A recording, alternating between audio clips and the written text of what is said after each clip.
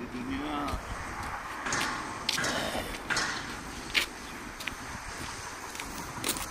Mahallem geniş bir mahalleydi. Ee, şu anda yarısından fazlası yıkıldı. Ee, yaklaşık 1500-2000 civarında da 3 aşağı 5 yukarı hesaplamalarıma göre ölü sayısı çıkıyor. Ee, mahallemde şu anda ayakta kalan binalarımı görüyorsunuz. En son az hasarlı ve orta hasarlı binam 43 taneydi. Şu anda 35 civarında düştü. Çünkü bende bulunan e, belli bir noktam vardı. Orası kentsel dönüşüm. Kentsel dönüşümün bulunduğu yerdeki binalarımız zaten tek katlı ve iki katlıydı çoğu. Ona da şu anda yıkılmak üzere. Binalarımda az hasarlı olan binalarım var. Karşı taraftaki gibi, bunun arka tarafındaki gibi. Orada şu anda 35-40 aile civarında kalanım var. Mahallemde ortalama 15 ile 20 bin civarı bu yana yok. Evet. Seçmen sayım bile düştü. En son seçimde ben girdiğimde 5333'tü. Şu anda e, 3000 civarında seçmen sayımız kaldı.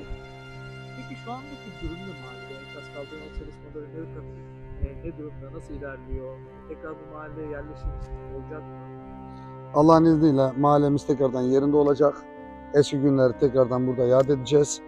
Ee, mutlu, huzurlu bir şekilde devam edeceğiz.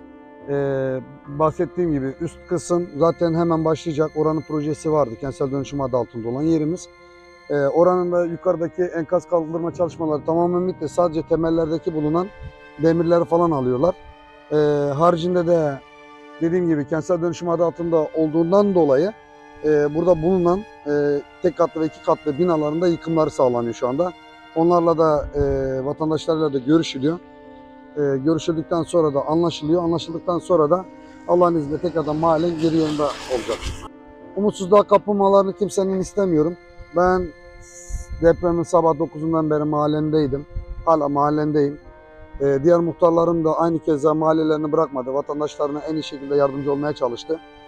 E, biz umudumuzu kaybetmedik. Kaybetmeyeceğiz de.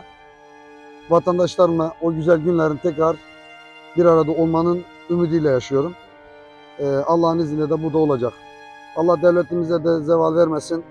Ee, bizi ilk günden beri yalnız bırakmadılar. Ellerinden gelenini yaptılar. Hala da yapmaya devam ediyorlar. Ben